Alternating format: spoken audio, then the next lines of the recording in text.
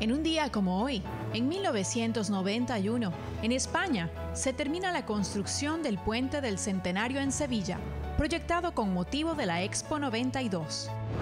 En el año 1926, en Nueva York, se subasta en la cantidad de 106 mil dólares un ejemplar de la Biblia de Gutenberg, el primer libro impreso. En 1986, la Unión Soviética lanza la Estación Espacial MIR. En el año 1868 es asesinado el presidente uruguayo Venancio Flores, quien venía ejerciendo el poder dictatorialmente desde 1866. Y en 1928, Malcolm Campbell establece una nueva marca de velocidad automovilística, alcanzando una velocidad de 206.95 millas por hora. Para que vean ustedes, todas esas cosas pasaron. También en tal año como en 1861, en el Imperio ruso se abolió la servidumbre totalmente. Y en Estados Unidos, eh, Thomas Edison patenta el fonógrafo. Y hoy en nuestro segmento de viajes, eh, Carlos José nos llevará por el maravilloso carnaval vegano en la República Dominicana. No se lo pierdan.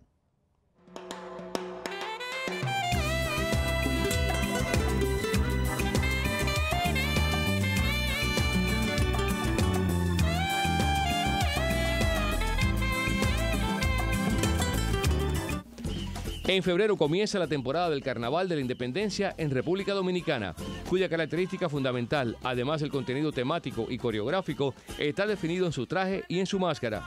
Es en el Carnaval donde se desbordan a plenitud todas las manifestaciones folclóricas y culturales de este pueblo cibaeño.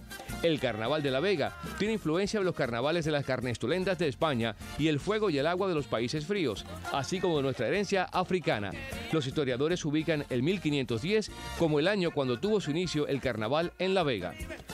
Para que el carnaval vegano se revista de la brillantez que lo caracteriza, la preparación abarca todo el aire del carnaval. La Unión Carnavalesca Vegana es la entidad que tiene a su ver todo lo relativo a esta fiesta y quienes también se encargan de organizar las celebraciones. Desde 1988 se elige anualmente al Rey del Carnaval, que se corona a inicios de febrero. Participan cuatro actores fundamentales, las comparsas, los aguantavejigazos, los diablos cojuelos y el espectador, quien vive y disfruta de su fiesta. La celebración del carnaval envuelve otras actividades festivas, como también culturales y deportivas, así como conciertos, exposiciones, bailes, reconocimientos, presentación de artistas populares, etc. Los grupos se presentan en Santo Domingo, un día escogido para estos fines, y que no coincida con el desfile del carnaval que organiza la Secretaría de Turismo, en el cual los veganos ya no participan. Durante la celebración del Carnaval de la Vega está prohibido el uso de botellas de vidrio, armas de fuego y armas blancas. El ayuntamiento tiene prohibida además las vejigas fuertes. Este accesorio debe ser hecho de cuatro cascarones de vejiga de vaca y no pueden tener ningún objeto extraño o que sea cortante, tampoco exceso de aire, con la finalidad de proteger a la población. Las vejigas que no reúnan estos requisitos son confiscadas. La actividad final es el gran desfile en el cual todos se quitan la careta y los disfraces. Luego se realizan los reconocimientos a los grupos, comparsas y personalidades colaboradoras o que, a juicio del comité organizador, sean merecedores de distinciones.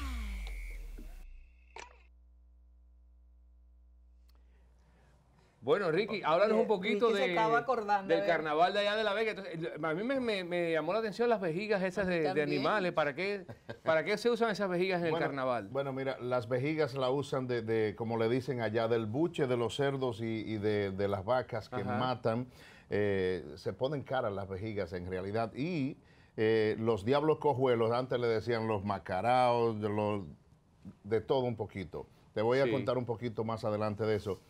Eh, la usan, eh, es como un disfrute, que la gente, los que disfrutan el carnaval, los que van a, mirar el carnaval, eh, tienen aguantar vejigazos. No sé por qué, no sé cuál es el gusto, pero un vejigazo, a la déjame decirte que sí duelen.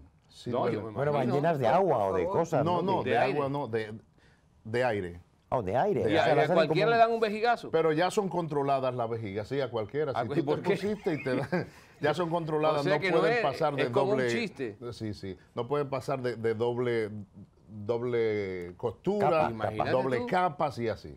Es increíble. Y, los diablos cojuelos, sea que cuando yo trabajaba en una discoteca en el JD Penguin, eh, iban las personas disfrazadas de eso. Yo no conocía ese disfraz. Y siempre ganaba como el mejor disfraz del año.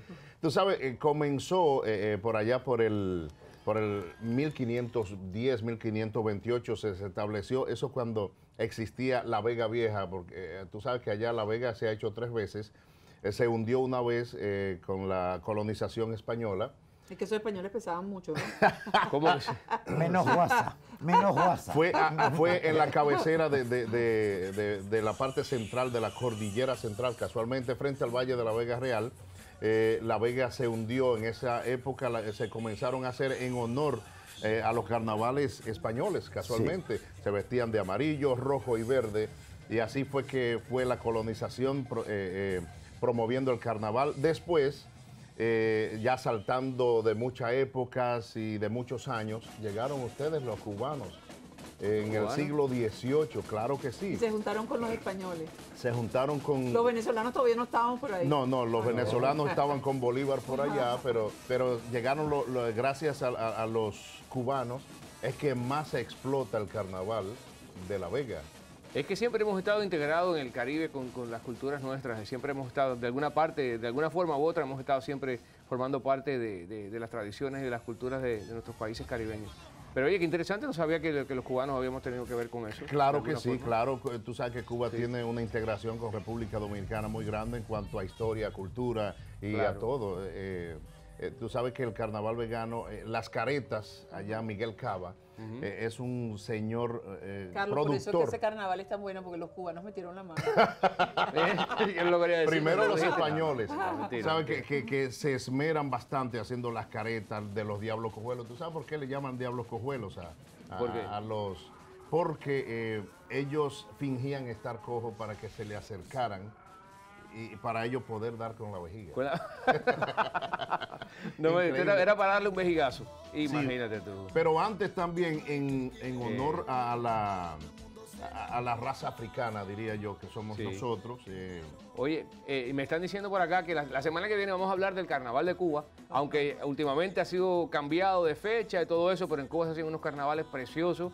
Eh, yo tuve oportunidad de participar cuando era chiquito en los carnavales allá de mi pueblo de Santa Clara eh, una carroza y todo en comparsa. Yo, estuve en todo eso, yo, he participado, me encanta todo eso. Este pero vamos a hablarle de eso porque yo me parece que en el bochinche. En el bochinche la cosa hay. Ah, Amigos, las anécdotas que, tengo son increíbles. Pero mañana a las 7 de la mañana en Mira TV los estaremos esperando pues eh, con lo mejor que podemos dar para todos ustedes que son nuestra familia. Hasta mañana a las 7. Bye bye. Bye amigos.